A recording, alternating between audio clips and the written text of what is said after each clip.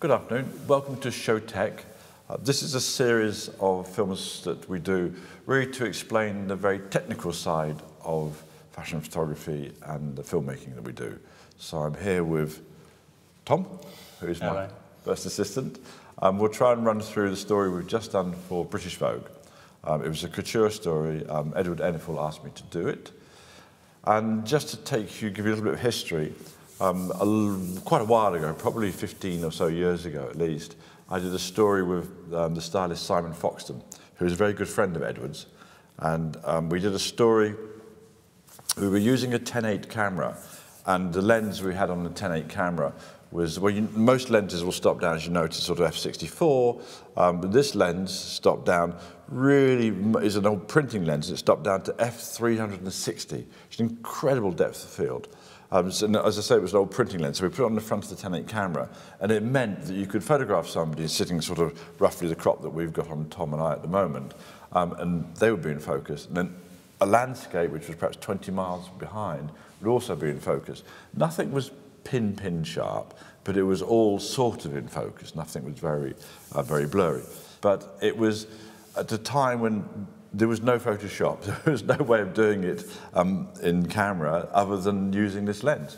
So we got this lens and we drove around. I wanted to do very um, classic views of the British countryside and putting people in that that perhaps you wouldn't expect to see there. But it was a sort of desire to sort of engage with nature. And we, we started trying to build a tent and to put the person we were photographing inside a tent and then lift the back of the tent up so then you could see the landscape behind them. That wasn't very practical. Um, so then we tried to do it by putting our subject in the back of a, a lorry. So we get a big lorry and we'd open up the tailgate and we'd sit our subject on the back of the tailgate, put myself with the camera inside the lorry and then reverse the lorry up to the landscape we wanted to photograph. So that was the incredibly complex way we did it then. And uh, about a year later, um, Photoshop was invented and everybody just thought, oh, they did it on a computer, which of course we didn't. So, anyway, long story, still quite long story. Um, Edward Enfield uh, saw, was very young in those days and was just starting his modelling career and starting getting into fashion. And it was a story that stuck with him. And he came to me uh, earlier this year and said he wanted me to cover the couture, which is a very nice thing to cover for a magazine. The couture is incredible for a photographer because it's so, uh, so beautifully made and so rich and embroidered and you know, it has all the sort of finest work um, you know, from the atelier. So it's a, for a photographer, it's very spectacular to photograph. So he wanted me to photograph the couture for British Vogue. He wanted all the models to be of colour. Um, and he wanted to set them like we did for the story I did with Simon Foxton 15 or so years ago. He wanted them all to be set um, in the English countryside. So it's quite a tricky thing when you're doing a couture shoot, because the first story took me about a month to shoot. But sadly, they don't give you a month anymore to shoot with. So it had to be done in two days. And if you've got a different model for every shot, and you're doing, I don't know, 12 shots, um, then that means 12 model flying in and out. So you have to be reasonably close to London. And we decided actually to photograph in Richmond Park, which is probably the best way to do it because Richmond Park's quite varied and you get great views that sort of stretch across the, the sort of Surrey countryside and then you get the sort of, you know, up, looking up towards London. And so there are sort of lots of different good views within Richmond Park. But we didn't want to use the old 10.8 and the printing uh, lens again, so we used um, a conventional camera. And we stopped down as far as we could stop down, which was to what? Um, well, we stopped down to about f16 on this lens, um, more because I think the levels of diffraction uh, through sort of digital lenses and into digital sensors is a lot more pronounced than it was when you were shooting on 10.8. And at F16, you've still got a reasonable amount of depth of field. So we photographed the, the model at F16, and that brings the background in. It's not pin sharp, but it's not wildly out of focus. So then after every shot, I'd, I'd do two or three frames of the model, and then refocus on the background and do two or three frames of the, of the background, and then two or three frames of the model again. And that's how I'd work. So there's constant varying the, varying the focus.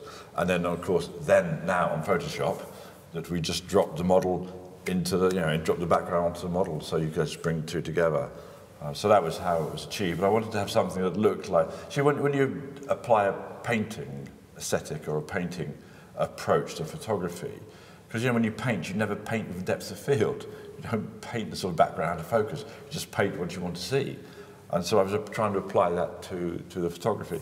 Uh, and it gives a, when you look at the pictures in Vogue, it gives them a kind of sereneness to them, a sort of gentle beauty to them.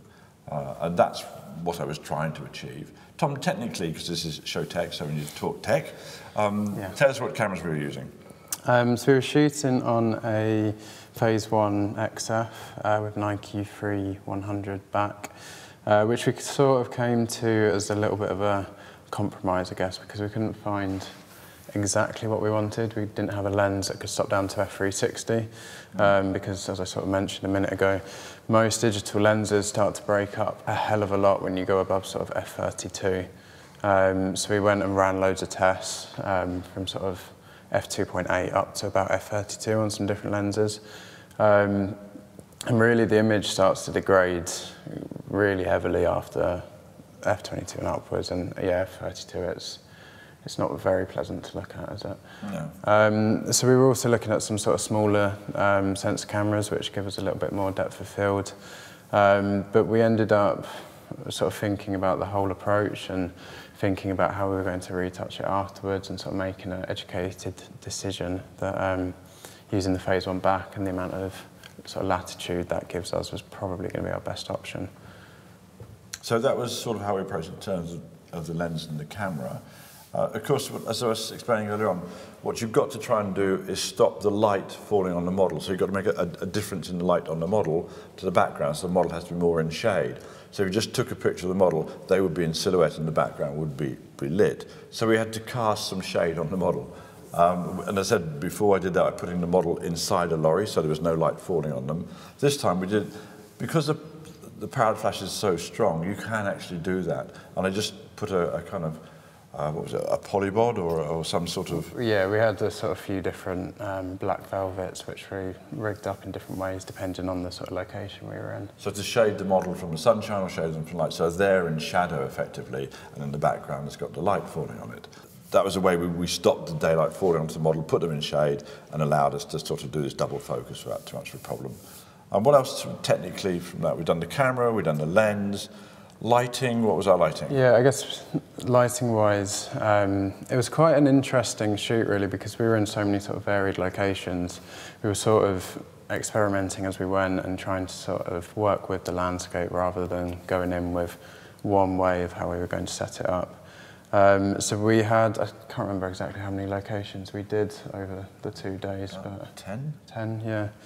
Um, so as Nick said earlier, trying to do five locations in a day is um, incredibly time consuming in, in sort of many ways. So we would have teams going over to the location following on from us, uh, sort of pre-set up that one. Um, so we'd sort of go around on the recce and try and make an educated guess as to how we would want things to be. Um, so we'd sort of think about where the light was going to fall, where the sun was going to come from, and then we could put in our sort of blackout system in place already to achieve this sort of silhouette that Nick was talking about. And then we had um, we had some Broncolor twin heads, which we which we used in a few different ways um, to give us that sort of uh, you know really really powerful burst of light to um, to match the sunlight uh, that was going on in the background.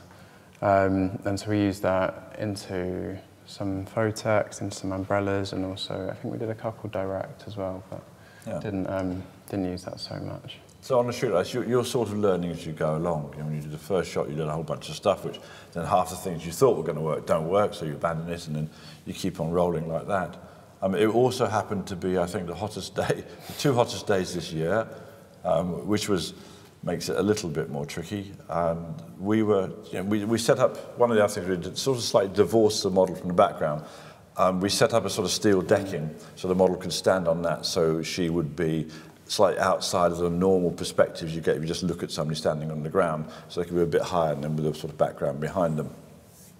But it was incredibly hot, and as Tom said, what we to get those number of shots done in a day, because it's a location, you're moving the whole team, we had half the team go and set up the next shot, and then we'd do the first shot and then move into that, and that team would go on and set up the third shot. So each time was a sort of, you know, things were being set up for us as we moved from location. Because otherwise, you, you, I mean, to be honest, you're rushed trying to do six or so shots in a day like that. But um, It was also, as I said, the hottest day this year, uh, which did have, it, uh, apart from making everybody slightly more, um, slightly more pressurised than they would have been, it, it also meant that we got a very lovely and quite unexpected shot. There's lots of deer in Richmond Park, and because it was so hot, they were all really, really thirsty. And we were photographing Jordan Dunn just by the side of this really lovely little stream with willow trees and very kind of you know, English 19th century painting kind of look. And of course, the deer are coming across the field. I'm thinking, oh, they'll get, they'll get vaguely in shot. And actually, they didn't. They came all the way down into just into the stream and started drinking from the stream, which is one of the shots you get. You know, you can't really plan to get it. And fil filming in nature, you have to kind of let nature do its thing. You, it, you can't push it or force it, and you just have to sort of you know capitalize on whatever um, whatever things happen. So you have to be reasonably flexible when you're photographing and filming outside. All good? All good. That's our British Vogue story.